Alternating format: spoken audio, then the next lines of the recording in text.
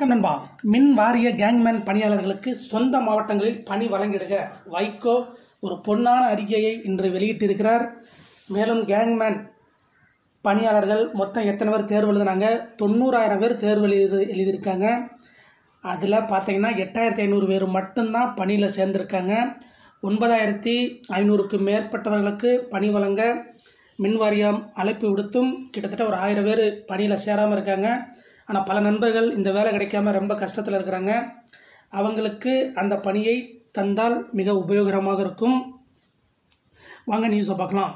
மின்வாரிய கேங்மேன் பணியாளர்களுக்கு சொந்த மாவட்டங்களில் பணி வழங்கிட வேண்டும் என்று மதிமுக பொதுச் செயலாளர் வைகோ வலியுறுத்தியுள்ளார்.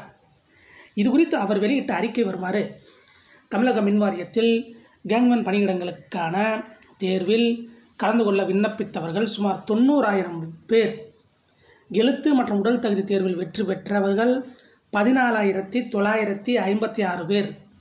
நீண்ட நாட்களாக வழக்குகளால் தாமதப்பட்டு வந்த நிலையில் மறுமலர்ச்சி தொழிலாளர் முன்னணி உள்ளிட்ட தொழிற்சங்கங்களின் கோரிக்கையை ஏற்றும் நீதிமன்ற தீர்ப்புக்கு உட்பட்டும் ஒன்பதாயிரத்தி அறநூற்றி பதிமூணு கேங்மேன் பணியாளர்களுக்கு பணி நியமன உத்தரவுகளை இருபத்தி ரெண்டு ரெண்டு இரண்டாயிரத்தி இருபத்தி ஒன்று அன்று முந்தைய அரசு குழப்பமான நிலையில் இரவோடு இரவாக அவசர கதியில் வழங்கியது. அவர்களுள் எட்டாயிரத்தி ஐநூறு பேர் பணி ஏற்பு செய்துள்ளனர்.